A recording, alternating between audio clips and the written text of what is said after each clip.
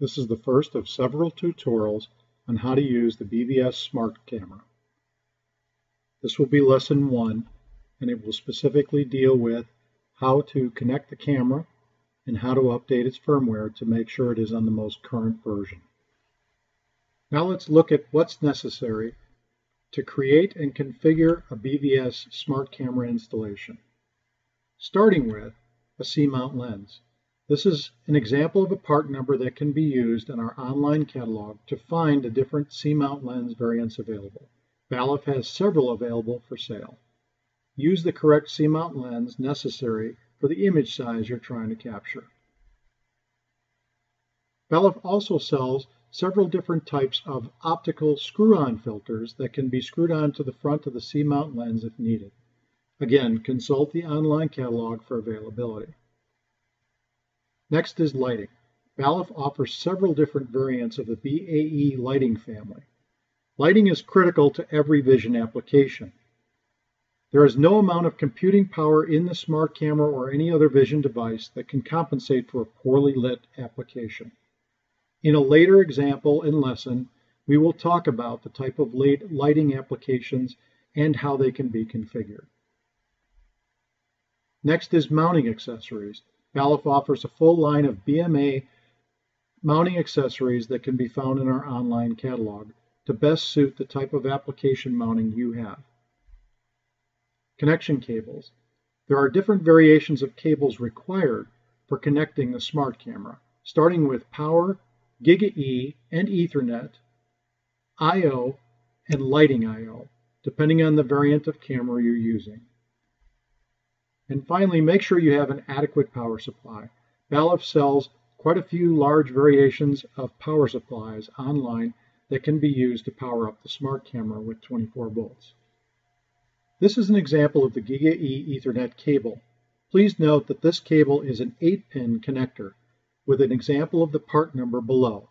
There are several different cable length variants available for this connector. You will not be able to plug a 4-pin Ethernet connection into the GigaE Ethernet port on the camera. So be sure to make sure you have the correct cable for each type of port, whether you're using the TCP IP I.O. version or the Fieldbus version. Next, let's look at the type of connections available on the camera. This is an example of the I.O. variant using TCP/IP GigaE port.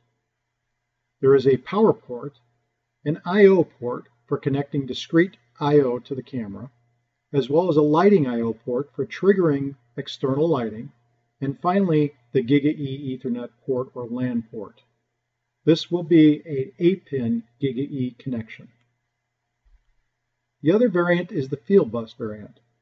That has a power port a field bus port connection for either Profinet or Ethernet IP, an I.O. link port, and finally a GigaE Ethernet port as well. Next, let's look at the LED indicators on the bottom of the Smart Light camera.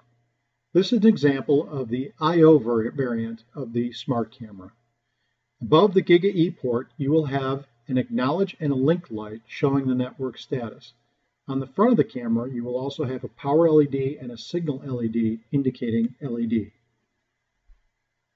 On the Fieldbus version of the camera, you will have an acknowledge and a link light below the Ethernet or Fieldbus Profinet Fieldbus port. You will also have an acknowledge and a link light for network activity above the GigaE Ethernet port as well.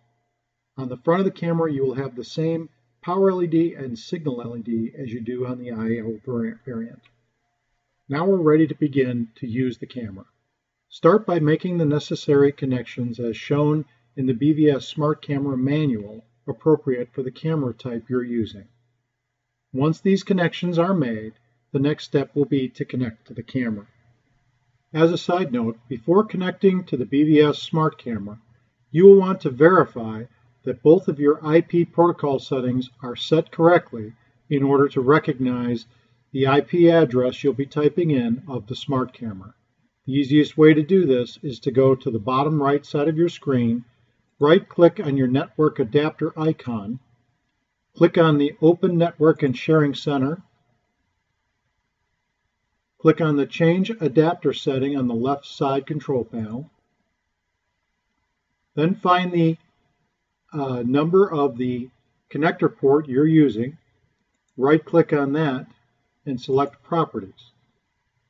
In the Properties window, you'll see Internet Protocol version 6, Internet Protocol version 4. You will want to make sure that both of these boxes are checked. If these boxes are checked, once you type in the address of the smart camera, you should be able to recognize that through the port.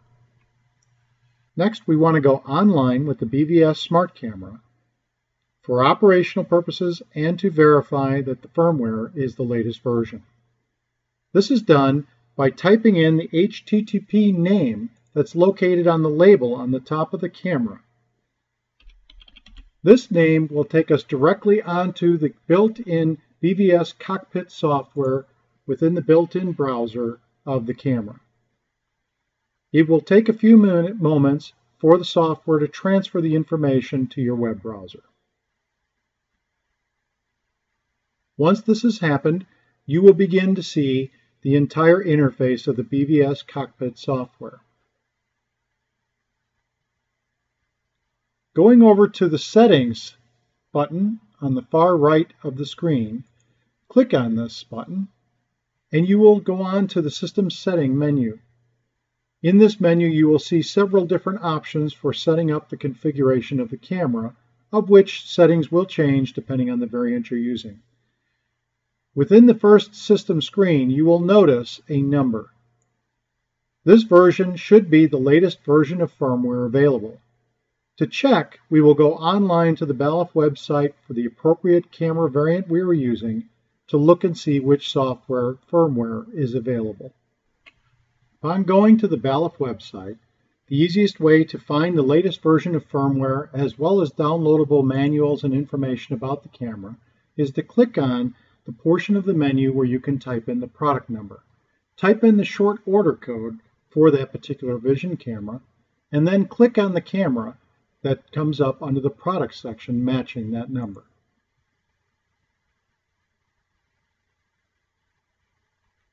On that product page, if you scroll down, you will find that in the download section, you will have several different documents you can download related to that camera.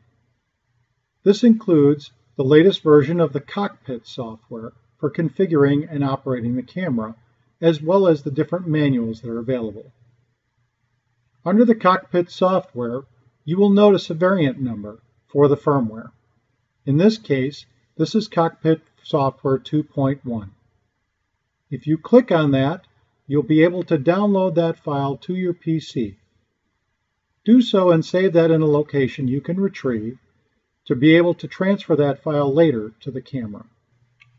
If your BVS Smart Camera requires a firmware update, start by opening a File Manager window and in the top address line type in backslash backslash and then the same name that was located after the HTTP login containing the name of the camera. Once that's been typed in, you hit enter and you should see the following folders come up. Within these folders, you will also notice a folder called Update. Next, you want to go to the File folder in which you copied your firmware off of the website. Using the copy command, Copy that file over to the Updates folder within the camera. Paste that folder into the Updates folder.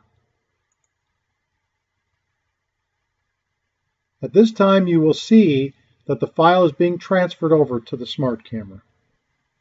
Once the file has completed being transferred over to the camera, you will notice that a message will pop up on the screen of the camera in your browser indicating that the file has been transferred and is being processed. Within that message window, you will also notice a countdown timer. During the availability of that window and the process of its countdown timer, you will not want to power off the camera at any time. The updating bar on the bottom of that window will indicate when the updating has been completed. Once the camera has completed its update, it will begin the process of rebooting and reestablishing itself to your browser address. There is nothing further you have to do at this point until after the camera has updated. If you see this loading inspection program window, it just indicates that there are prior inspections on the camera and that they were converted and updated as needed. You are now ready to begin the use of the BVS Smart Camera. We will move on to the next lesson, which will indicate the different types of techniques used for using lighting, as well as how to begin the process of establishing and setting up a new BVS application.